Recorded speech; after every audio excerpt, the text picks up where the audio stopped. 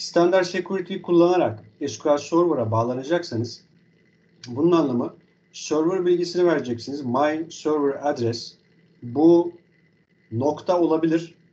Local host anlamında. IP adresi olabilir. Bu IP lokal adres de olabilir. Ee, sizin lokalden bir web sunucusuna bağlanacağınız webdeki web serverda çalışan bir IP adresi de olabilir. Tamam, remote bir şekilde dışarıya açıktır. Ona bağlanabilirsiniz. Yani SQL Server Management Studio gibi araçlardan ki sadece buradan değil PostgreSQL'den de ya da MySQL, Oracle vesaire bunlardan da siz lokalinizden e, remote'daki bir server'ın database adresine IP üzerinden erişebilirsiniz. E, My server adres kısmına bunu yazıyorsunuz. Biz lokalde olduğumuz için bunu nokta gibi düşünün ya da localhost. Database kısmı mesela SQL Server'ı incele, inceleyenler için AdventureWorks e, örnek verilebilir burada. User ID kısmı, bakın bunlar standart, tekrar ediyorum. Bunlar değişmez. Siz şu veri kısmını değiştirirsiniz sadece. User ID ve password, kullanıcı adıyla şifre verirsiniz. Sizin uygulamanız web ortamında çalıştığında yani deploy ettiğinizde herhangi bir yazılımı, backend yazılımını örneğin Python'da olabilir, C Sharp'la yazdığınızda, Java ile yazdığınız PHP fark etmiyor. O gönderdiğiniz sunucu ortamında bu şekilde çalışacaktır. Kullanıcı ID'si ve şifresini vermeniz gerekir. Bu standart security'dir. Bu şekilde bağlanır. O yüzden SQL Server Authentication kullanmanız gerekecek diyorum. Windows Authentication kullanırsanız e, lokalde çalışırsınız sorun yok ama e, bunu deploy ederken şu bilgileri vermek zorundasınız. Bu nedenle kendinizi böyle alıştırın diyeyim ben. Bunun farklı yöntemleri de var. Mesela user ID yerine UID yazmak. User'ın U'su, ID'nin id'i birleşik. Password yerine PWD yazmak. Ee, benzer şekilde kullanılabiliyor bunlar. Trusted Connection. Bakın dikkat edin burada user ID password yok. Bunun anlamı ben local ortama bağlanacağım demektir. Trusted Connection True yazıyorsunuz. Ee, diğerleri yerine. Bu aslında Windows Authentication gibi çalışma mantığıdır. Ya da Connection to SQL Server Instance kısmında the server instance name syntax used in server option is the same for all SQL Server connection streams. Buradaki şu genel yapı standard security ile aynı. Fakat şurada server kısmında server name ters slash my instance name yazıyorsunuz. My instance name olayı şudur. Hani bilmiyorsanız ki bilmeyebilirsiniz. Şurada yazan kısım var ya MS SQL Server. Bu sizin instance name'iniz. Nesne adı. Bu çok advanced bir konu. Instance nedir vesaire. Ee, temel anlamda sizin bilgisayar ortamına, herhangi bir sunucu ya da işletim sistemi ortamına her kurduğunuz database engine bir instance'a sahiptir diyebilirim. Çünkü örneğin SQL Server ya da diğerleri fark etmiyor. Onları tekrar tekrar kurabilirsiniz bir ortama. Her kurduğunuzda ona farklı bir instance name vermek zorundasınız. Başlangıçta e, kurulumda tabii tecrübeli olmadığınız için hatalar yapabilirsiniz mesela. Kurmaya çalıştın, yanlış kuruldu bilmem ne. Sonra tekrar kurmaya çalışıyorsun. Default olarak MS SQL Server e, kendisine default instance name olarak MS SQL Server'ı alır. Siz o hatalı kurulumdan sonra tekrar kurarken eğer bunu e, değiştirmezseniz kurdurmaz size. Siz de dersiniz ki niye kurulmuyor? Sebebi aynı instance name'den bir tane kurabilirsiniz. Ama kesinlikle benim tavsiyem bir ortama iki tane instance kurmayın. Gerek yok. Bu çok çok ekstrem durumlarda gerekiyor. O konulara girmeyeceğim. Ee, bu instance olayı instance'ların tamamen birbirinden izole olmasını sağlayan bir yöntem. Advanced konu dediğim gibi ona girmeyeceğim. Bakın burada MS SQL Server var ya bunu şuradaki My Instance Name kısmına yaz, yazıyorsunuz diye düşünün. Siz ona ABC adını da verebilirsiniz. Fark etmiyor. My server name örneğin nokta ters slash ABC. Ya da parantezler içerisinde localhost slash ABC. Ya da IP adresi iki nokta üst üste port ters slash ABC gibi. Ondan sonrası yukarıda bahsettiğimle aynı. Şurada da hangi versiyonları desteklediğini söylüyor burada. Ee, mesela bu connection string ile hangilerine bağlanabilirsiniz? Hepsine bağlanabilirsiniz diye neredeyse. Günümüzde kullanılanların hepsi. Ben SQL Server 2000'den başladım. Aslında en yoğun şekilde 2005 ile başlamıştım. 2000'le de uğraştım vaktiyle.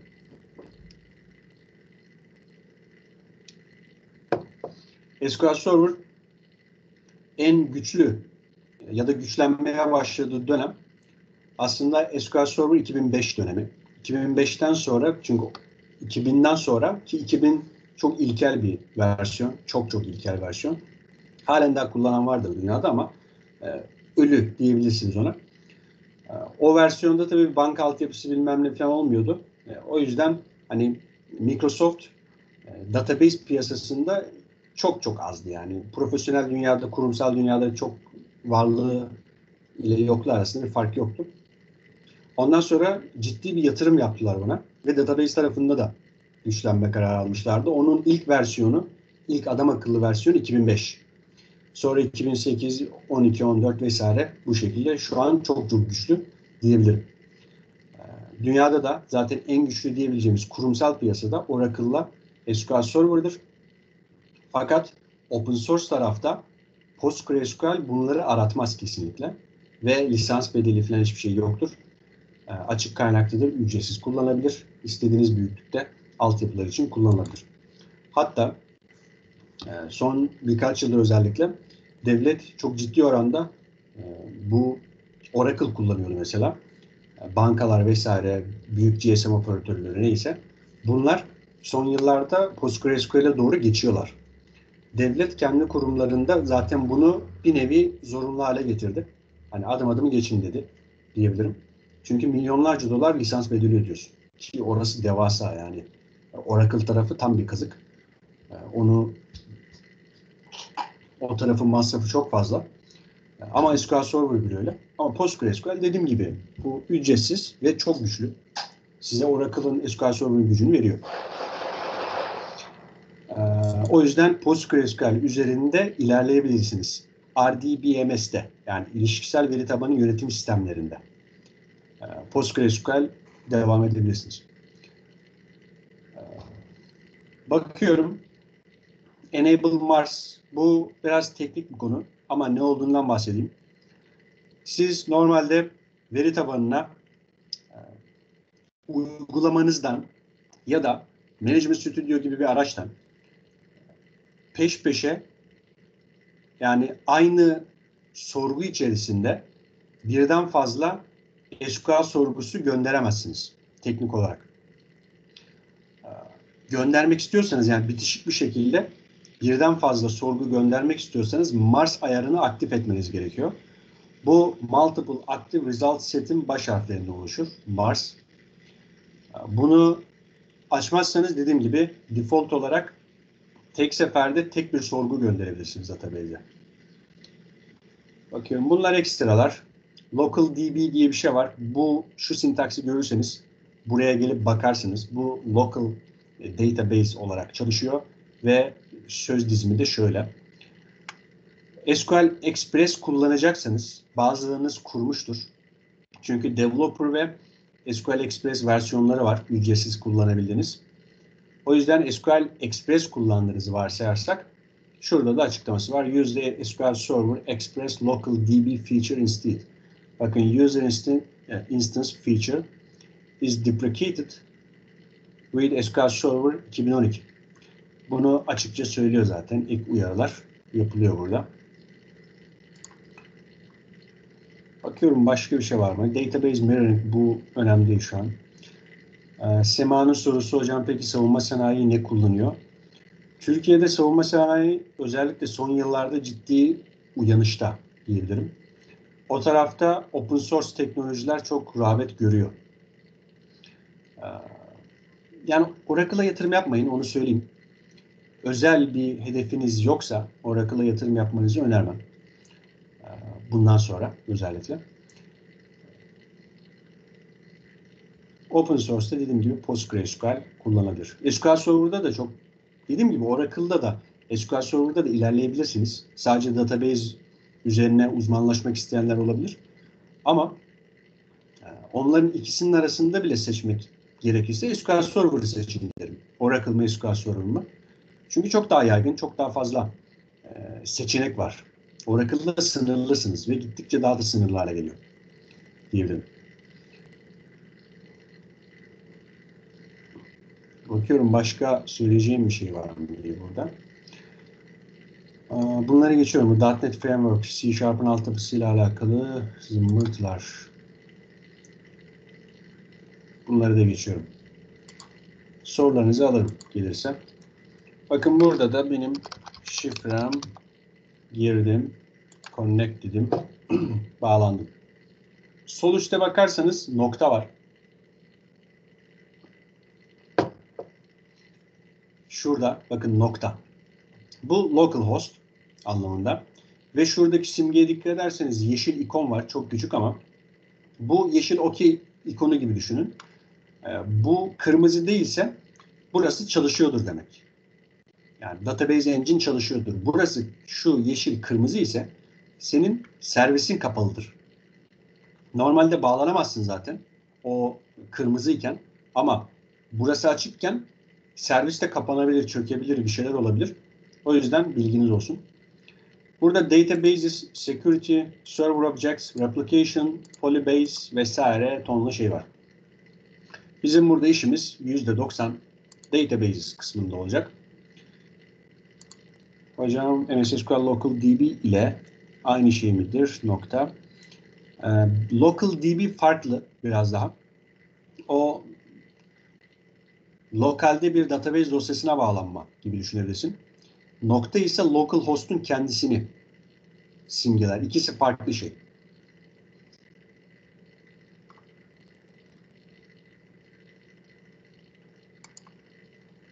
Ve benim şurada Adventure Works'um var. Kitabı da bunun üzerine yazmıştım. Bu bir dummy database. Yani test veri tabanı diyebiliriz aslında. Bunun bir başka alternatifi de Northwind var. Şuradan bir new query deyip ekran açayım. Oradan yazayım ben. Notunuzu alın. Adventure Works bu yıllardır database SQL Server için tasarlanmış bir veri tabanı, test veri tabanı. Bunu alıp bunun üzerinde antrenman yapıyorsunuz aslında. Bir bisiklet e-ticareti e, yapan bir firmanın örnek database'ini tasarlamışlar. Ve SQL Server'ın yeni versiyonları çıktıkça tabii onlarda bazen yeni programlama özellikleri de geliyor. Onlara göre bu database güncelleniyor ve o şekilde güncel versiyonları kullanılıyor diyebilirim. Bir de Northwind var. İkisini de kullanabilirsiniz. Northwind daha sadedir, daha basittir. Başlangıç için tavsiye ederim. Adventure Works daha kapsamlıdır, daha e, daha teknik konuları içeriyor kendi içerisinde. Biraz daha ileri konuları, ileri teknikleri. O yüzden ilk bakışta bu nedir, şu ne iş yapar falan diyebilirsiniz. O yüzden bence yeni başlayanlar Northwind ile başlasın. Ama belli bir tecrübesi olanlar Adventure Works ile benim kitap da oradan Adventure Works üzerine kurulu. Ee, Northwind evet Ahmet Northwind basit, sade, rahatlıkla anlarsınız. Yani üzerinde çalışabilirsiniz. Yıllardır var ikisi de. Ben de dediğim gibi Adventure Works var. Çünkü kitap zaten bunun üzerine kurulu. Şöyle tables alanı açılsın. Çok fazla şey olduğu için expanding diye böyle yazıyor. Gösteriyor. Birazdan gösterir.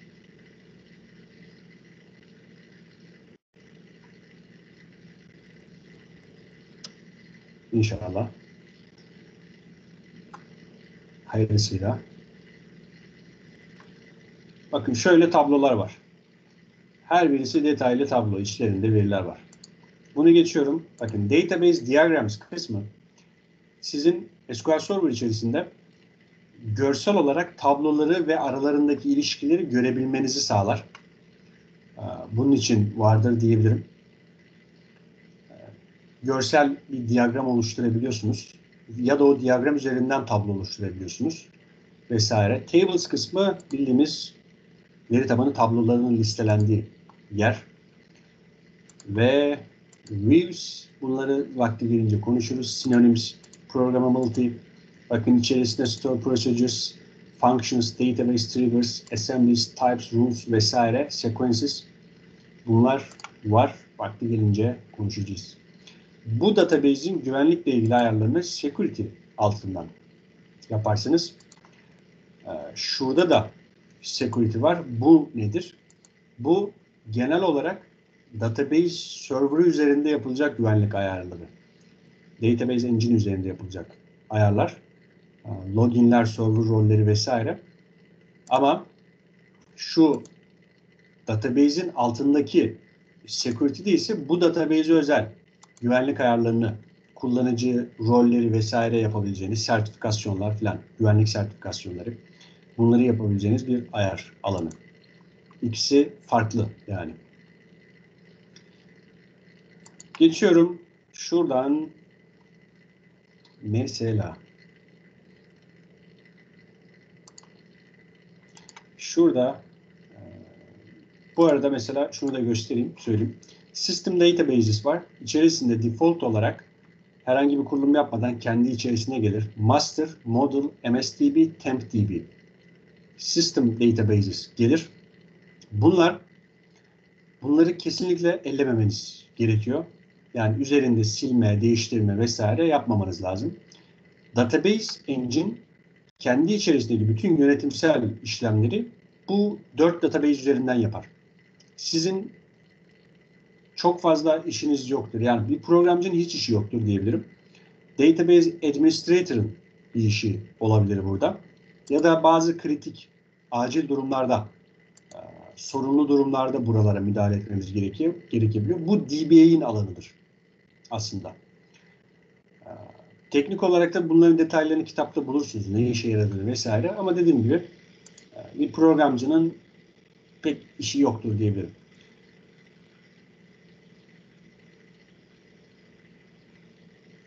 Hocam şu an sizin versiyon 2089 2089 gösteriyor. Bu durum restore database gibi durumlarda hata verir mi? Onun olayı şu. Şu versiyon mesela burada ben Adventure Works'ü backup aldım.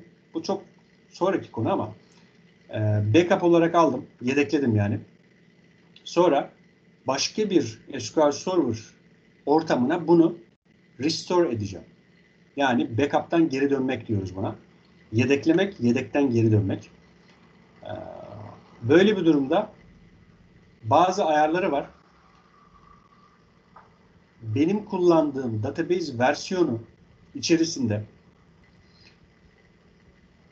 bunun SQL tarafında bazı ayarlar tutuluyor. Mesela database'in versiyonu gibi bilgiler. Bu versiyon bilgileri sizin o database içerisinde kullanabileceğiniz TSQL programlama yeteneklerini belirler. Örneğin yeni versiyonda kullandığınız bir özellik varsa, yeni versiyonla gelen bir özelliği kullandıysanız ilgili database'de, o database'i önceki versiyona restore edemezsiniz. Ettirmez size. Çünkü yeni versiyona göre hazırlamışsın sen onu. İçerisinde eski versiyona göre e, eski versiyona göre yeni olan bir özellik olup olmadığını anlamaz veri tabanı. Bu nedenle de risk almaz ve size geriye doğru bir restore yaptırmaz. Hiç yapamazsınız değil, default olarak yaptırmaz. Yani korumaya alır sizi. Dediğim gibi detay bir konu. Ve şunu kapatıyorum. Bakın şurası, şu ortam kapatıyorum. Şuradan new query açıyorum ya. Bu şunu açtığınızda teknik olarak veri tabanı motoruna bir oturum açılır. Burası basit bir metin editörü değildir. Tamam. Burada yazdığınız e, kod yazdığınız ortam teknik olarak bir metin editörüdür ama basit bir metin, metin editörü değildir. Burası sizin oturum açtığınız yerdir aslında. Siz görsel olarak görmeseniz bile arka tarafta size bir session verilir. O session üzerinden database'e yetkiniz dahilinde istek yaparsınız. Geçiyorum. Bunlar detay konular. Ve şunu ilk açtığınızda size soruyor. Ne diyor bu? Cannot execute bla bla. Bunun bir ayarı var. O ayarı yapmanız gerekiyor. Benim blokta vardı ama blok kapalı. Geçiyorum bunu. Şuradan ilk ilk kez yapacağınız için install diagram e, support deyip öncelikle bu ayarı yapmanız gerekiyor. Burada tabii ekstra şeyler var. Permission falan istiyor. Bu ayarları yapmanız gerekiyor. Ben bunları kullanmadığım için yapmıyorum. Ve gelelim kodlama meselesine. Ben yine tahmin edersiniz kitaptan gideceğim. Oradan hemen hemen dedik alıyorum ben bunu.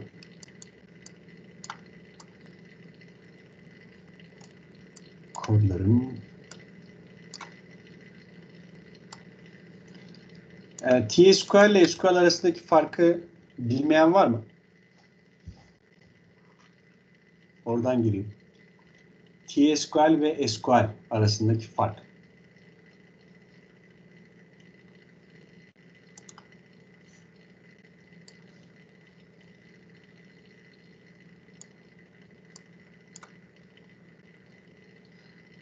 Bilen var mı?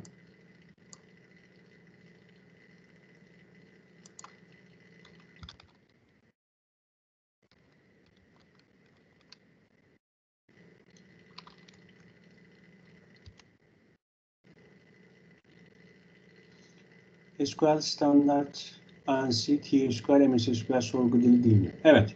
PLSQL nedir o zaman? Ahmet.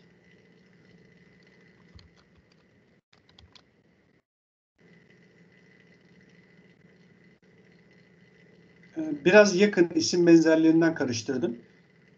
PLSQL Oracle için hazırlanmış. Şöyle anlatayım. Özet geçeceğim yine. SQL Ahmet'in dediği gibi SQL bir standarttır. Tamam mı? SQL global bir standart. Yani web eğitimlerinde o öğrendiğiniz HTML gibi global bir standart.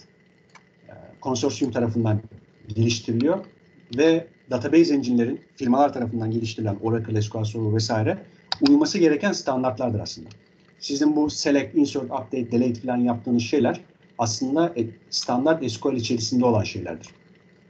Ve e, bu SQL'e destek vermek zorundadır. Bütün database engine geliştirici firmalar. Microsoft da dahil, Oracle da dahil. Belli bir yüzde oranında minimum destek vermek zorundadır diyebilirim. Ee, çoğusu da yüzde 70-80 arasında bir destek verir. Ve örneğin Oracle için PL, PLSQL var. Prosedürel SQL, SQL demek bu. Server için ki official name'i MS SQL Server'dır aslında. İkisi de kullanılır. SQL Server için TSQL Transact Transact şöyle SQL'dir. Yani ikisi de aynı şey bunların. PostgreSQL için PL şöyle PL PG SQL diyeyim.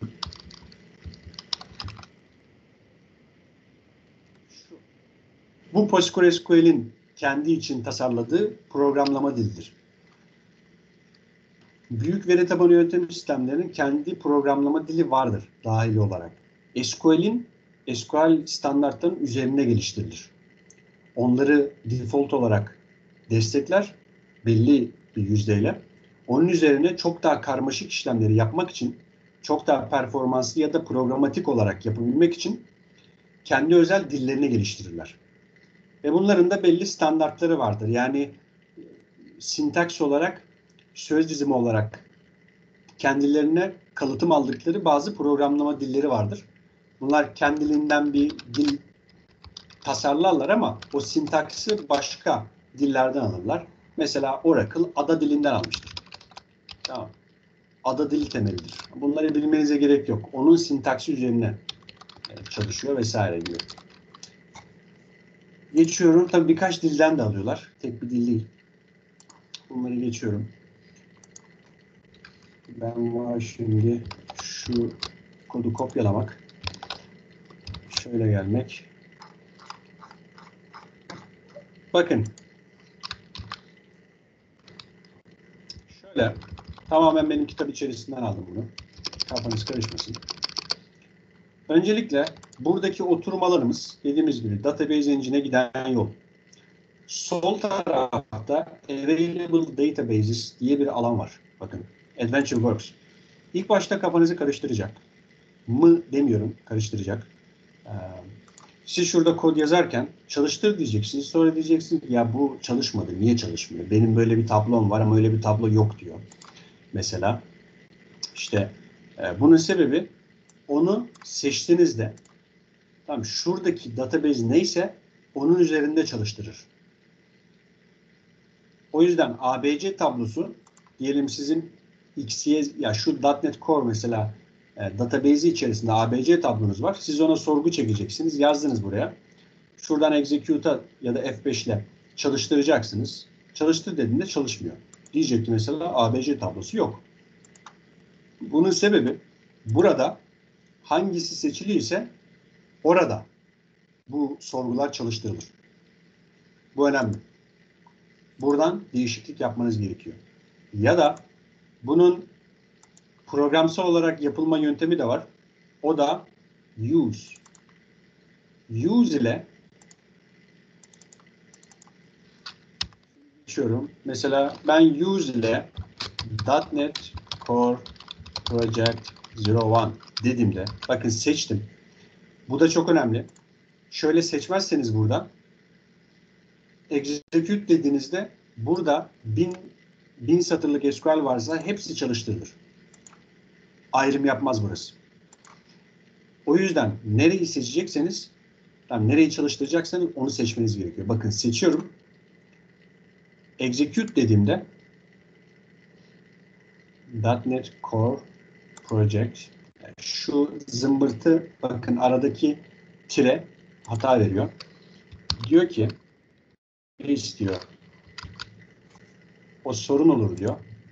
Sen bunu köşeli parantezler içerisinde bana gönder diyor. Bakın çalıştırınca yukarıdaki değişti. .NET Core. MySQL'de nasıldı bu? MySQL'de şu database'in üzerinde tıklıyordun, çift tıklıyordun değil mi?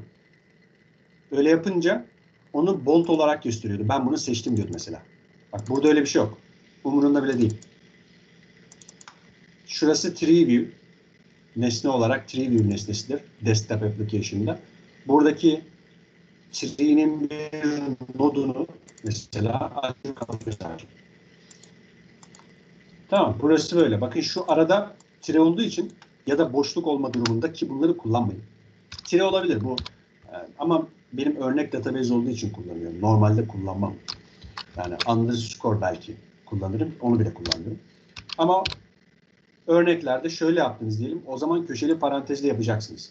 Ya da bazı durumlarda görüyorum bazı arkadaşlar kodlarında yazıyor. Mesela şöyle boşluk bırakıyor. Bu yasak. Bunu yok sayın. Teknik olarak Database Engine boşluk karakterine izin vermez default'ta sadece size kolaylık olsun diye bunu yapmanız izin veriyor. Ama yaparsanız mesela SQL Server'da şu boşluğu kullanacaksan bazı durumlarda kullanabiliyorsun. Köşeli parantezle bunu tanımlamak yani sorgu sırasında köşeli parantezle tanımlamak zorundasın. Yoksa hata verir sorgu. Ama dediğim gibi default olarak hiç kullanmayın.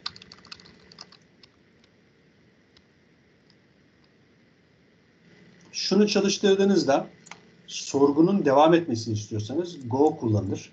Bunlar çok nadir kullanılan e, batch'lerdir aslında. E, yani programatik ortamda çok kullanmazsınız. Ben şu an burayı anlatıyorum. Burasıyla yazdığınız kod kısmı farklıdır aslında. E, bakın şurada bir değişken tanımlama işlemi nasıl yapıldığını gösteriyorum database'de. Declare. Yani şunu yok da sayabilirsiniz şu an. Tamam. Çünkü şuradan seçtiğinde aynı şey oluyor. Bir değişken tanımlama işleminde şu şekilde gayet basit bir değişken tanımlanır. Declare ile tanımlanıyor. Bunu programlama tarafındaki var gibi düşünün. Declare, tanımla, et, onun o değiş, o tanımladığınız ismin yani burada kitap bunun bir değişken adı olduğunu belirtiyor.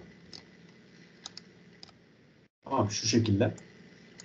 Et ile başlıyorsunuz değişken isimlerinde. Bu SQL Server'da böyle. Sonra veri tipini yazıyorsunuz. Varchar. Kaç karakter olduğunu belirtiyorsunuz. 29 karakter. Ve noktalı virgülle kapatırsınız. Söz dizimi SQL'de bunu bir alışkanlık haline getirin. Noktalı virgülle kapatmanız gerekir. Bunları. Teknik olarak bunu kapatmadan da çalışır. Ama sonraki sonraki versiyonlarda geriye doğru uyumluluklarda noktalı virgülü standart olarak kullandırır database'ler. PostgreSQL, SQL Server, Oracle vesaire fark etmiyor. Hepsinde noktalı virgül kullanın.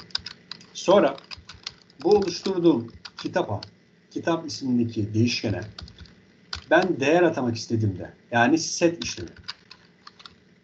Yani şöyle yapıyorduk ya örneğin var, var demeyeyim x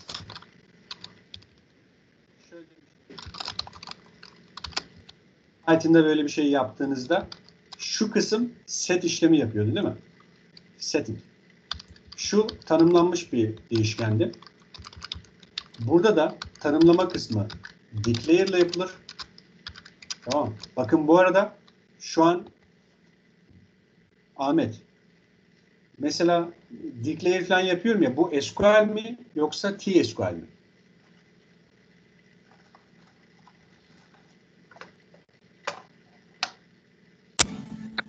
TSQL hocam.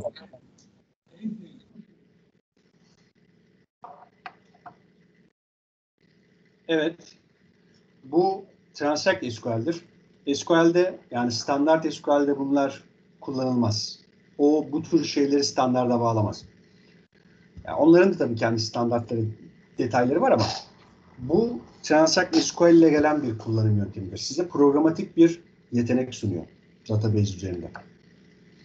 Declare, bunu tanımladık. Değişkenini tanımladın vesaire. Set dediğinde şuradaki şu set işlemini yapar. Set, değişken adı. Bakın set, TSQL'de vardır. Değişken adı eşittir. Tek tırnaklar içerisinde bla bla string veriyorsun burada. String veri.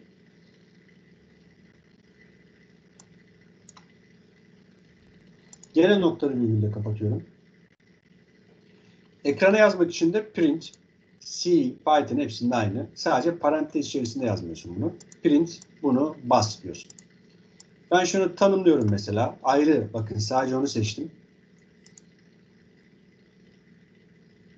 Bakın complete successful dedi. Ondan sonra şunu seçiyorum. Şimdi değer ata buna. Must declare the scalar variable bla bla. Diyor ki tanımlamadın ki diyor. Çünkü ikisi de ayrı ayrı çalıştırıldı. Bunların adam akıllı çalışması için birlikte çalıştıracaksın onu. Tek bir session sorgusu içerisinde çalışması gerekiyor. Sonra bakın bunu çalıştırıyorum. Öyle bir şey yok diyor. Halbuki yaptım. O yüzden birlikte çalıştıracaksınız. Bakın ileri seviye SQL Server TSQL. Şunu 20 yaparsam ne olur? Şunu da düzelteyim. Gıcık duruyor. Bunu çalıştırırsam ne olur? 20 karakter kadarını eklemez mi hocam? Yes. Bakın ileri seviye SQL ser. şurada bu kısmı yazmadı.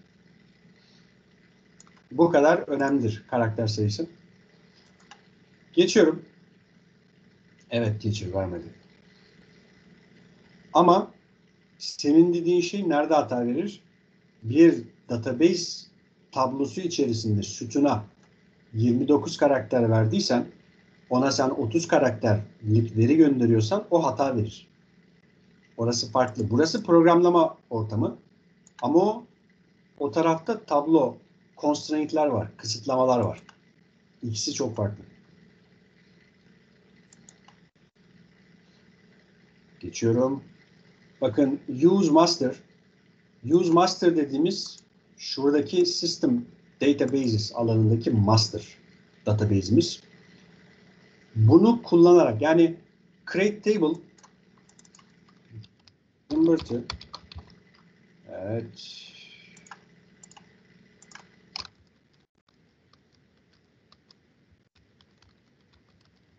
Böyle bir database oluşturacaksanız create table ve database düzeltin. Create database deyip onun adını vermeniz gerekiyor. Bunu yaparsınız ama default olarak zorunlu olmasa bile default olarak bunu yapmadan önce use master deriz. Yani master system database'ini kullan kullanarak bunu oluştur. Çünkü şu tanımlamaların hepsi aslında onun içerisinde var. Default olarak kendisi yapar ama siz de bilinçli olarak bunu yapabilirsiniz. Create database mesela şunu hatta çalıştırayım ben. Bakın çalıştırınca bakın şurası değişti. Master onun üzerinde çalıştırıyor. Successful inanmam göster bana diyorsanız gelip şuradaki değişiklikleri buraya ya da ilgili noda sağa tıklayıp refresh diyerek görebilirsiniz. Bakın zımbırtı DB geldi. Default olarak içerisinde bir şeyler var. Default olanlar var sadece. User defined hiçbir şey yok. Sil bunu.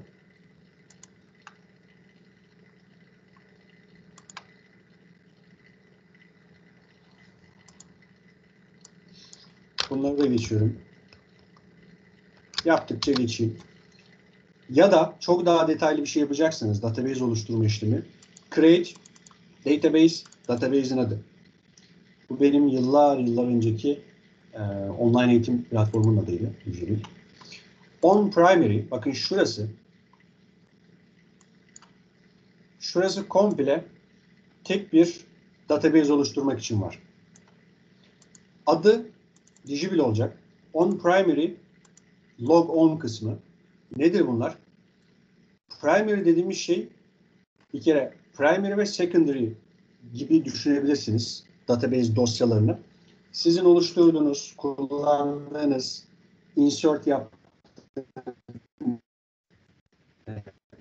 database dosyasında saklanır. Bu database dosyasının adı database kitabında görürsünüz zaten birden fazla vardır.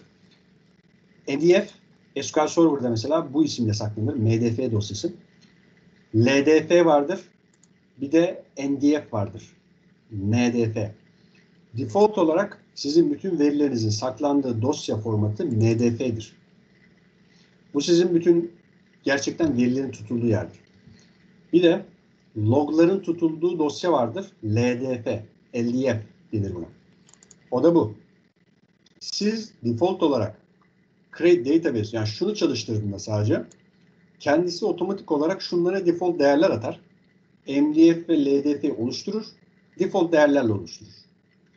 Siz detaylı bir oluşturma istiyorsanız kendinizin yöneteceği mesela dosya yolu vesaire e, bunun programatik adı name kısmı Jivil Data. Bunlar önemli bu arada. Bunlar üzerinden işlem yapabiliyorsunuz. Şu e, fiziksel dosya adı budur. Bu programatik dosya adıdır. İkisi farklı olabilir ama olmaması daha doğru. Bu dosya MDF dosyasının e, default size'ı yani boyutu ne olsun? 21632 kilobayt demek, 21 megabayt demek. Default olarak ben buna 21 megabaytlık alan veriyorum. Maksimum size ne olsun? Unlimited ya da şunun gibi bir kilobayt, megabayt falan verebilirsiniz. Mesela 10 MB. Tabii 10 MB veremezsiniz böyle bir durumda. Çünkü şu size minimum size demektir.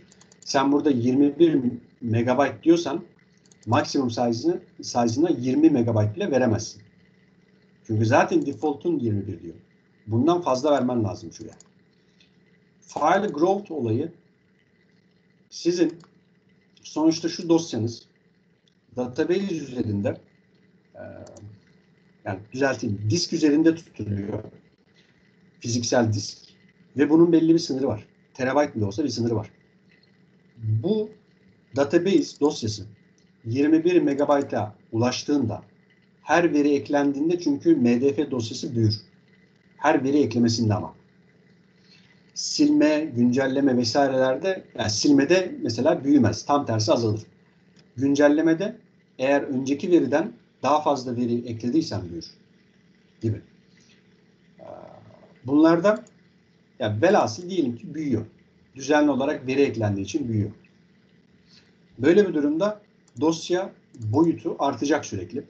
21'den 50'ye çıkacak. 60 olacak. 70. Senin de maksimum size'ın 70 MB diyelim. 70 MB'a geldiğinde artık insert yapamazsın. İzin vermez database.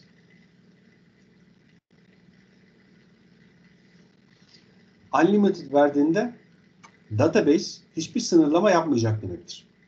Fakat senin gerçekçi bir sınırın var. O da e, diskin kapasitesidir. Değil mi? Diskin kapasitesi senin gerçekten maksimum size'ını verir. Onun üzerine çıkamaz. 1 GB'lık bir disk üzerinde 1 GB'dan fazla veri tutamaz. Bu dosya olmaz yani.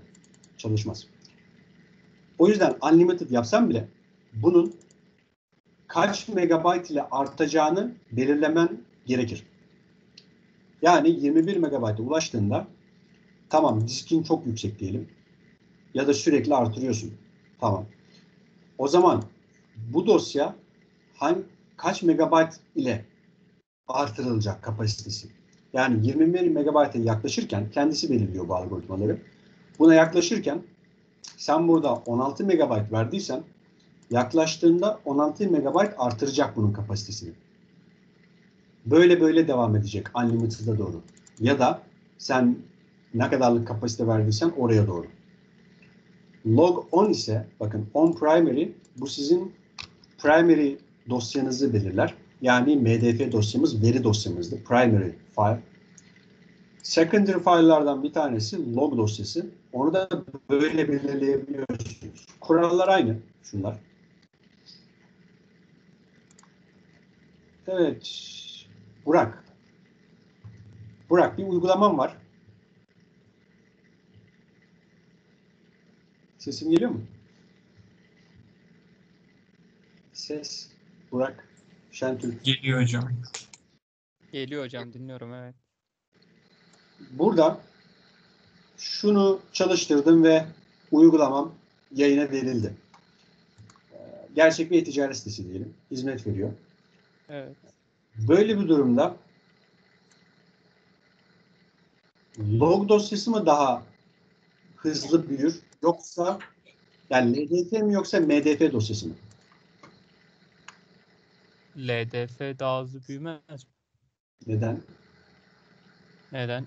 Güzel soru. Ee, çünkü biz e, şey olarak e, nasıl açıklayabilirim onu? Hmm. Şeyde sonuçta e, biz bu verileri ilk olarak bu dosyanın içerisinden geçirip daha sonra oraya e, şeyleri ana şeyleri koyacağımız için nasıl yani açıklayamam bunu ama LDF daha hızlı bir. Tamam. Çünkü o geçmişi de tutuyor. Öteki sadece var olanı tutuyor. Mehmet. Yani teacher aynı veri MDF'de de bir tane. Hmm, şöyle. MDF dosyası sizin verilerinizi tutar. LDF'de aynı veriye birden fazla ulaşırız. Tam değil.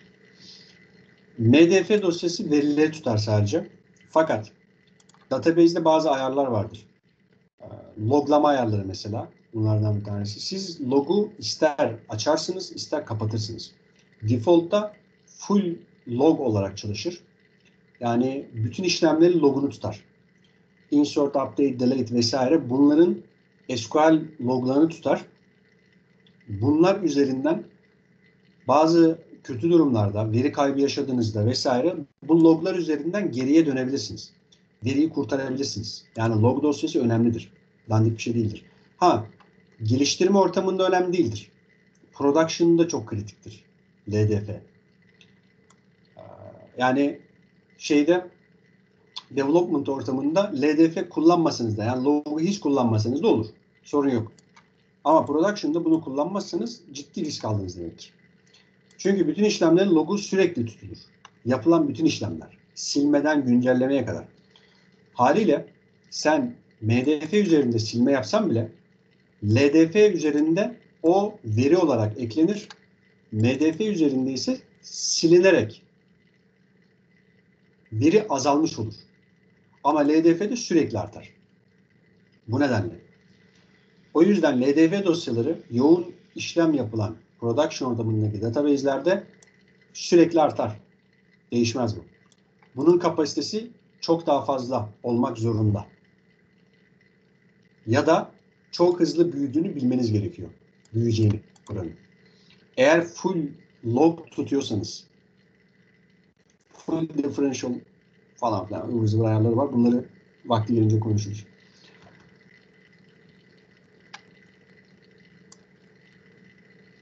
Şunu çalıştırıyorum böyle. Ne diyor? Şöyle bir yol yok. O yüzden. Bu normalde çalışır ama databases klasörü yok. C içerisinde. Onu oluşturayım. Ben göstereyim size. Hemen şuradan C'ye geldim. C içerisinde folder databases sen dur. Şimdi tekrar çalıştırıyorum. Bakın şu an databases içerisindeyim. Şöylesine. Ee, Bunu çalıştıracağım. Oluşuyor. Bakın oluştu. Oluşma tarihine falan bakın. Şu an oluştu. 1.23.832. İkisi de böyle. Üzerine geliyorum bakın 21.1 MB MDF dosyası. Ne diyorum burada? 21 MB değil. Log 2 MB. Ne diyor burada? 2048 KB. Yani 1024 KB 1 MB, 2048 MB, KB 2 MB. Çocukken öğrendiğim şeyler. Ezberlemiştim bunları. 1024 KB 1 MB eder. 1024 MB 1 GB eder filan. Bu dosyalar önemli. Tamam. Geçiyorum. Asıl mesele orada yani. Bunları gördük. Şurada eğer ben bu database dosyası üzerinde bir e, bilgi almak istiyorsam help işlemi diyelim buna diyoruz daha doğrusu. Database'de cp underscore help db diye bir sistem prosedürü var. Yani default olarak kurulu geldiğinde kurduğunuzda default olarak sp alt tire help db de gelir. Bunun gibi binlercesi var. Çalıştırdığında sana bununla ilgili bilgiler verir. Bakın böyle zımbırtılar. Detay detay kısımları. Geçiyorum bunları. Hızlı geçeceğim. Ben konumuza döneceğim buradan. Artık temel kısmı anlattık. Diyorum ki bakın person nokta person şunu da sileyim. Person nokta person içerisinde böyle bir şey şeyde yok. Bakın bu arada şunu yeniliyorum. Dijibil gelecek şimdi.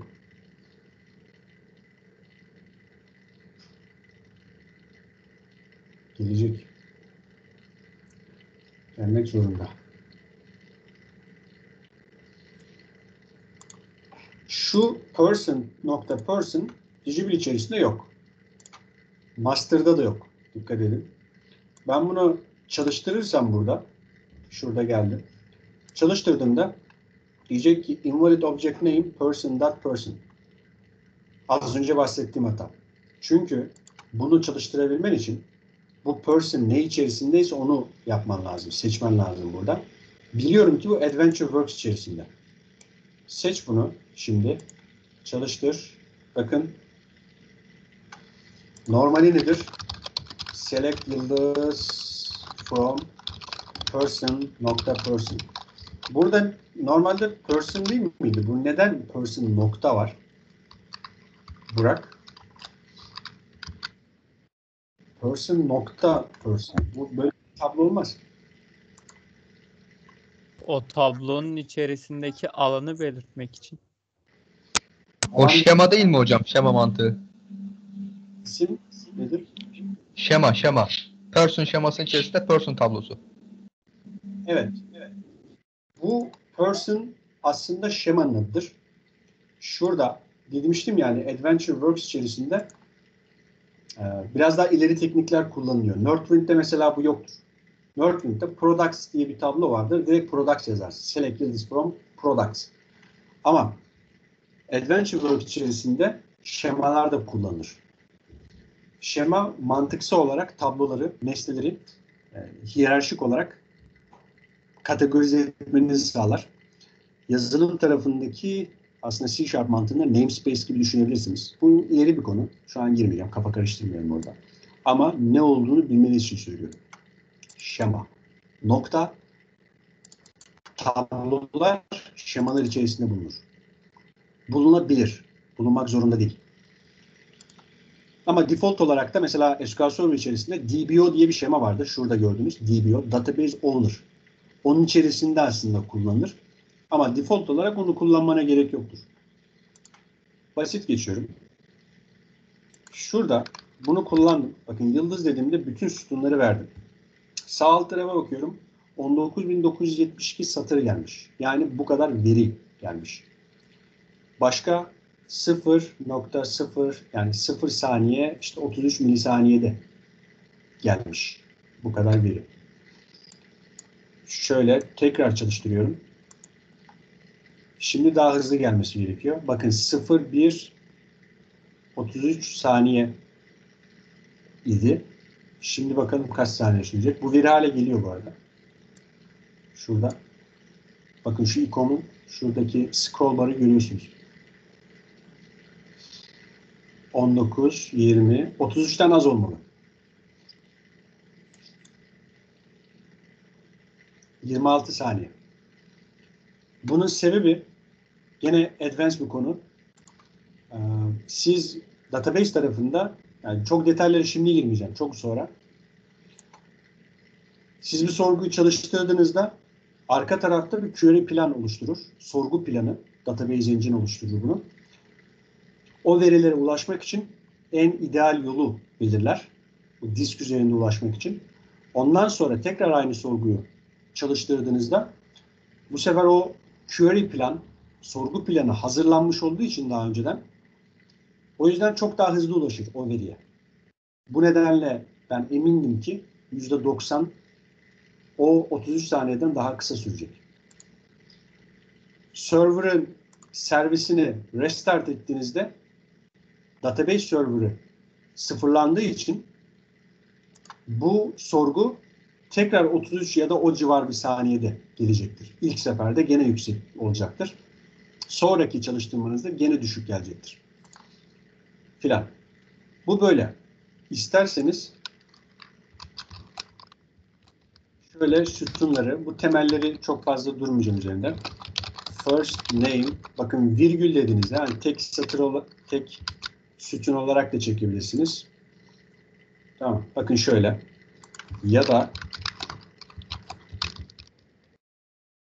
buraya virgül koyarak örneğin last name diyerek çekebilirsiniz. İki tane sütun istedim burada. Abbas mesela. Bakın Seyit Abbas gelmiş.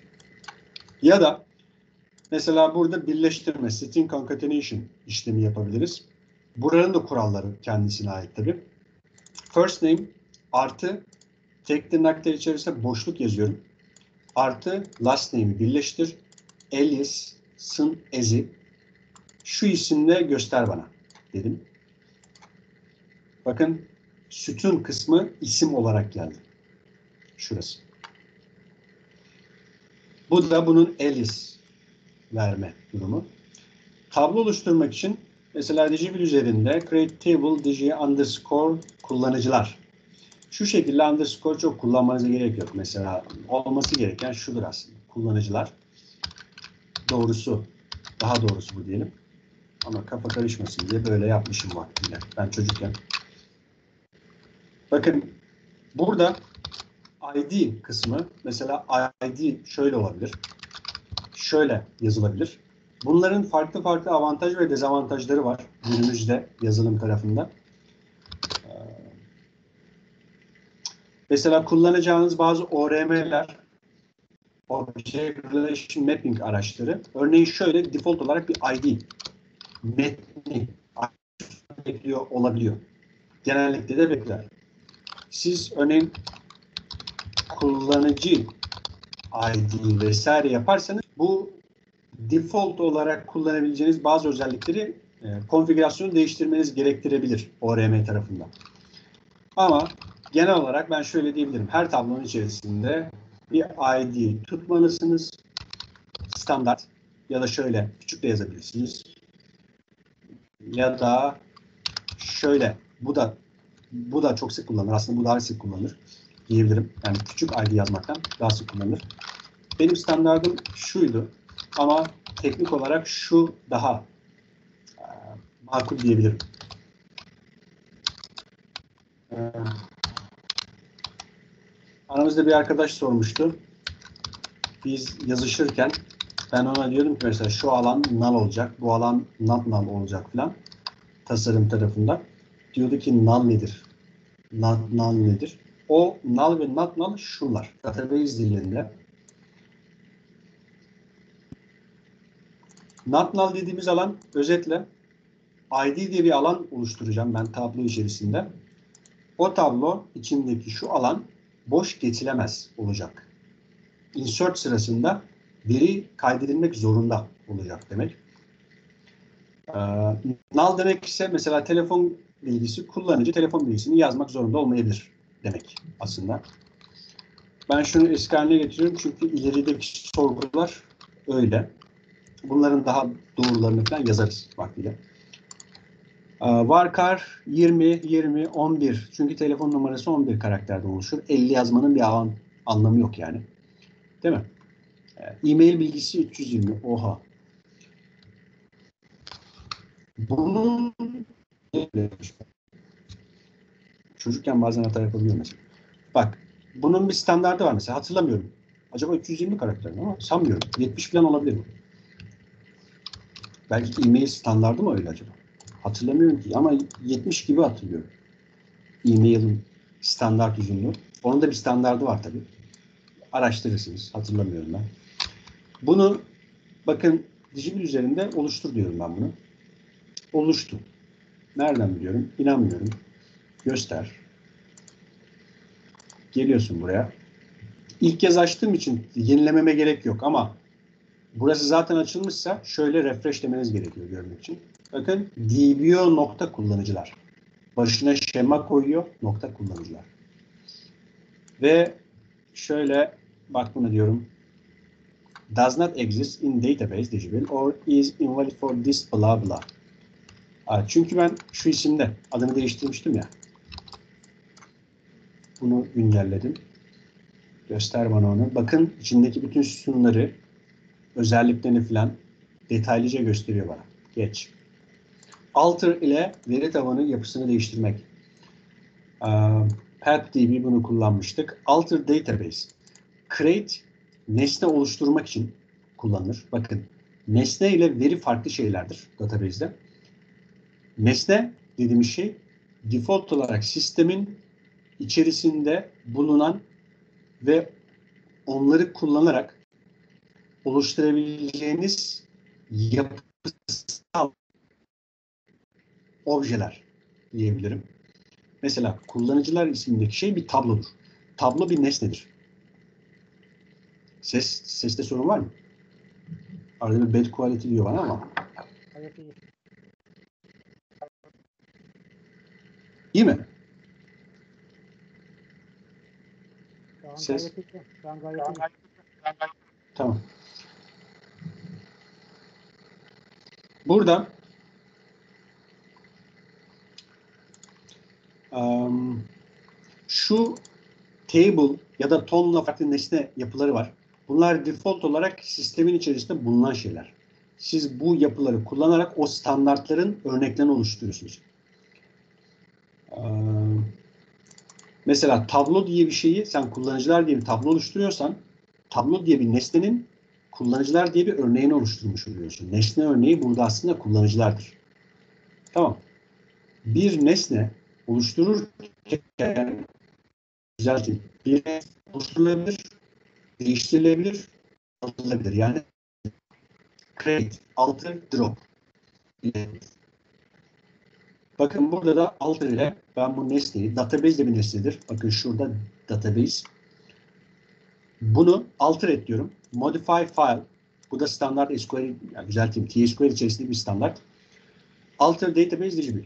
Modify file yani dosyasını değiştir. Neyini değiştireceğim? Adını adı digibil data'ydı. Bu sorun değil. Zaten bu önemli şuradaki isim. Size'ını 300 MB yap diyorum. Çok detaylarına girmiyorum. Yoksa haftalar sürer açıkçası. Ee, SQL Server. O yüzden ama kitapta bunların hepsi detaylıca var. Mesela size'ını 300 MB yap. Alter ile teknik olarak bir nesnedir. Digi kullanıcılar. Diyorum ki alter table create, olu, create ile oluşturmuştum. Alter table diyerek de değiştiriyorum. Neyi? Şu nesneyi. Add diyorum. Yani ekleme yapacağım. Kitapta detaylar var. Cool adres. Kullanıcıya eklemek istiyorum diyorum. Add. Varkar 150 olsun, null geçirebilirsin. Boş geçirebilirsin demek. Kullanıcının kayıt tarihi datetime tipinde not null yani boş geçilemez olsun ama default bir değer vermek istiyorum diyorum buna. Şurası zorunlu değil bu arada. Default değer vermek için şöyle yazmanız lazım. Default peki değer nereden gelecek? Datetime tipinde otomatik bir veri eklenmesi gerekiyor.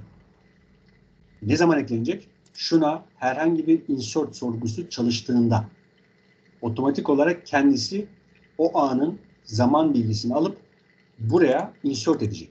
Siz insert sorgusu içerisinde göndermenize gerek kalmayacak. O yüzden bunu yazarsanız öyle olur. Ee, yoksa siz göndermeniz gerekir. Default get date diye bir zaten renginden de belli olduğu gibi buna alışacaksınız zamanla.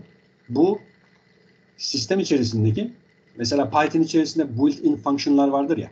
Siz kurduğunuzda default olarak gelir. Onları kullanırsınız. Mesela len karakter uzunluğunu alan. Bu built-in function. Burada da get date onlardan bir tanesi. Built-in function. Get date'i çağırdığınızda size o anın zaman bilgisini alır, buraya ekler. Sadece burada değil birçok yerde kullanabilirsiniz. İnanmazsan bak. Select.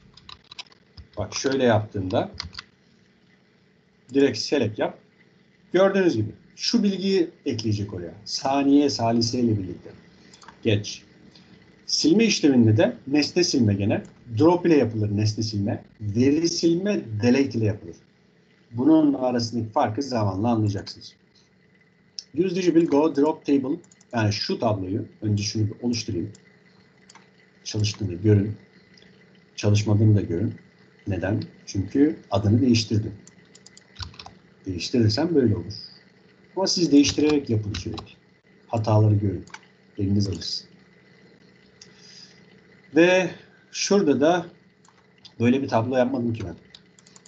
O zaman şunu koy. Bakın bu tabloyu düzeltin şu. Değil mi? Diyorum ki Digibil içerisinden drop table şu tabloyu sil. Şimdi çalıştırmadım onu. Burada kullanıcılara bakayım bir. Bakın. Şunu seçtim. Çalış. Şimdi bak. Tablo uçtu. Devam. Drop ile veri tabanı silmek. Şunu sileyim. Bakın IntelliSense'imiz de var. 2005'te e, database'e 2005'te miydi? 2008 versiyonunda mı? SQL Server'a IntelliSense gelmişti. Hatırlamıyorum. IntelliSense şu otomatik tanım, tamamlama var ya bu. Bu özellik gelmişti. Çok sevinmiştik o zaman. Tabii şu an sevinecek bir durumumuz yok. Siz zaten size zaten hazır geliyor. Normalde SQL tarafında her şeyi elle yazardın. Yani öyle sana e, IntelliSense falan destek vermiyor. Bakın şöyle. Ama bayağı kas yapmıştık. Büyük millet, evet. Parmaklarımız o yüzden güçlü arkadaşlar. Comments completed successful. Bakın silindi. Ee, şu an görünüyor hale. Database'e refresh diyorum. Database gitti kısaca. O halen daha gelecek. Ee, şöyle insert böyle yapılıyor. Insert into dici kullanıcılar values 1 ara verelim mi? Ben de sana söyleyeyim. Tamam verelim. Database'in uçtuğunu da gördük. O zaman moladan sonra görüşürüz arkadaşlar. 10 dakika.